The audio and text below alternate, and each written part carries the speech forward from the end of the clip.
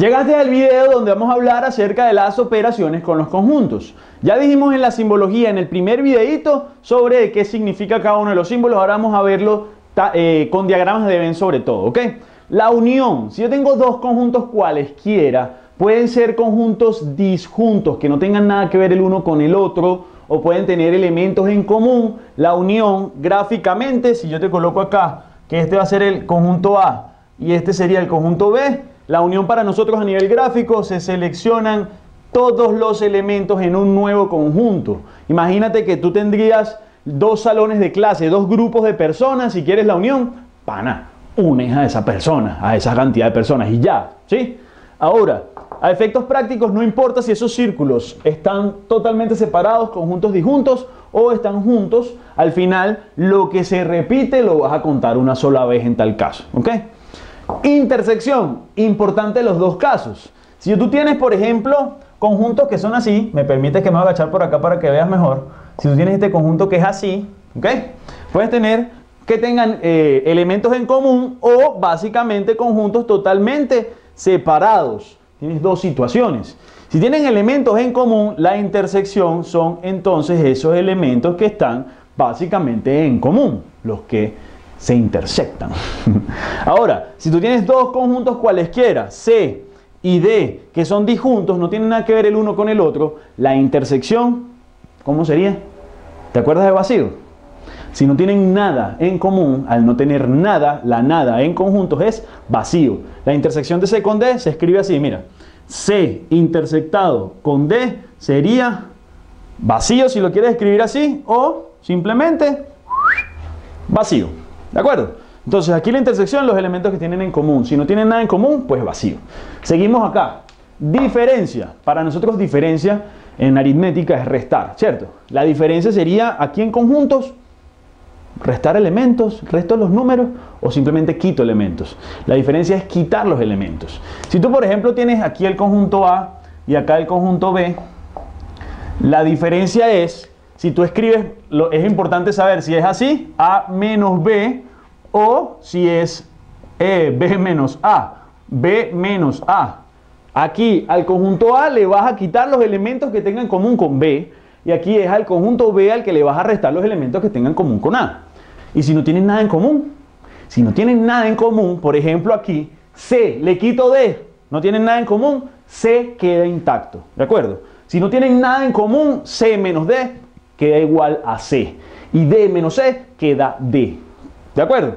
Si tienen algo en común, gráficamente, ¿cómo se ve eso? A menos B, que es el primero, quedaríamos, eh, nos quedaría solamente este espacio. Estos elementos que están acá sería A menos B. En otras palabras, en Paint, en super programa de edición, sé que todos hemos usado Paint en algún momento. Imagínate que esto lo borras y te quedas solo con esa semiluna. Los elementos que estén aquí es A menos B. En otras palabras, si quieres la diferencia así, piensa qué elementos tienen en común y se los sacas. Si es A menos B, se lo sacas a A. Si es B menos A, ¿cómo queda? Mira que el gráfico, si esto es B y esto es A, eh, eh, bueno, escribirlo mejor en el mismo orden para que mantenga la secuencia. Si este es A el de la izquierda y B el de la derecha, B le quito A, me quedo solamente con el espacio que tiene los elementos que solo pertenecen a B. Por lo tanto, este sería este espacio sería B menos A. Al, conjunto B le sacas los, elementos que también estén en A. ¿Por qué hice los dos? Por esta belleza que está aquí abajo. La diferencia simétrica. La diferencia simétrica que tú tienes, por ejemplo, A intersectado con B, la diferencia simétrica se dice que es lo siguiente. Tienes dos maneras de escribirlo. Mira esta primera. A A le restas B y a B le restas A y a los dos resultados los unes. Si a le restas b, te queda este espacio. Si a b le restas a, te queda este espacio. Si une los dos, necesito que por favor acá tengas la imaginación a mil. Si agarras este dibujo y agarras este dibujo y montas uno sobre otro, quedaría como que todo esto sin lo del medio. ¿Sí me sigues la idea? Entonces aquí la diferencia simétrica es por simetría. Quitas de un lado y quitas del otro. ¿Cómo queda el asunto? Si lo quieres a nivel de dibujo, si esto es A y esto es B, la diferencia simétrica es quédate con este pedazo y con este pedazo. En otras palabras, si esto es el conjunto A y el conjunto B, en otras palabras, a la diferencia simétrica también se le dice que a la unión, esto te lo voy a decir verbalmente para que lo analices, a la unión A unido B, si A unido B, le restas, le sacas la intersección de A y B, queda la diferencia simétrica. Mira, si A unido B le restas la intersección de A y B, mira cómo se representaría matemáticamente si a la unión le quitas la intersección, le estás quitando este espacio, ¿cierto? ¿Y qué te queda? Estos dos segmentos, que era qué? La diferencia simétrica. Entonces lo puedes ver así o así. Te doy chance para que lo copies en tal caso. Voy a volver a reescribir acá el dibujito. Pausa el video, pausa el video. Es que te doy chance. Esto no es una clase. Tú puedes pausar el video cuando tú quieras. Pausa el video y copias eso. Voy otra vez. Mírame, yo como si estuviese yo una clase normal ahí contigo enfrente dándote tiempo. Paralízalo. Ajá. ¿Quedó claro entonces? Unión, intersección, diferencia y diferencia simétrica. Son, digamos, los, las primeras operaciones que tienen que quedar claritas. Complemento. Vamos a decirlo así, súper poéticamente. Complemento de un conjunto es lo que te falta para hacer todo. ¿Cuál es tu complemento?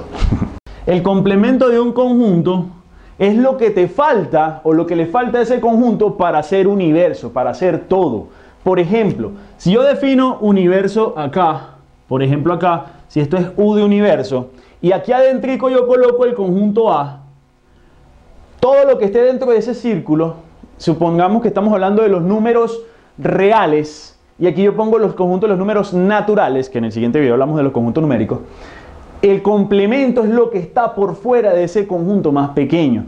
Es decir, que si el complemento es todo esto, y tú haces, mira esto, tú haces la unión de un conjunto, la unión de un conjunto con su complemento, siempre te va a dar universo, porque la unión es unir todo, valga la redundancia. Si tú haces A, el conjunto A, vamos a escribirlo aquí un segundito, me disculpas, me disculpas el desorden. El conjunto A lo unes con su complemento, estás uniendo esto que está aquí dentro del círculo con todo lo que está por fuera, ¿quién te tiene que dar? Universo. Esas son cosas teóricas que uno tiene que tener presente en teoría de conjunto. Vale, entonces ya cerramos acá lo que serían las operaciones. Espero que haya quedado muy claro. Cualquier cosita deja tu pregunta en la caja de comentarios que sin problema en momentos directos yo te voy a responder. Así que no olvides por favor like, comentario, suscribirte. Acá tienes completamente abierto para ti los conceptos, la parte teórica. Recuerda que la teoría, cuando le engranas con ejercicios, vas a hacer un match completo, muy grande y entiendes así el tema. Entonces, en la caja de descripción, ve a la página para que tengas mayor información sobre ello. Chao.